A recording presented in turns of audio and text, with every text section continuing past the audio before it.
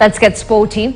Harambee Starlets with Botswana, who thumped Gabon 7-1, with the winner of this match booking a place in the Women's Africa Cup of Nations in Egypt.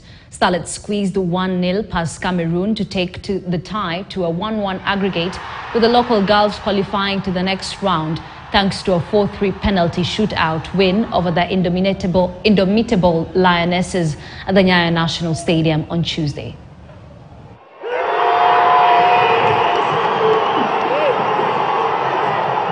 Kuja kwao imetupea nguvu kwa mafans ile shouting First of all, we believe, and we made the girls believe that it can be done.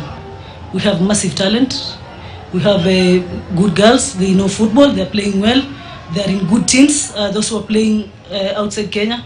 We also have a lot of talent here in Kenya, and uh, there's no difference. Just let the girls know that uh, they're playing against girls.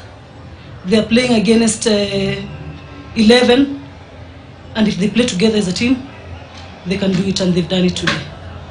Under uh, categories, the under 20s, the under 17, the under 18s. Not for us to go to the camp and ministry says that we don't think under 18 is important. We got that last time.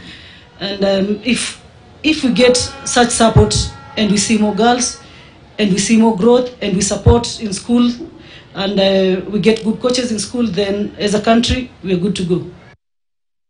Koth Bureau have signed a partnership with Extreme Super 8 for their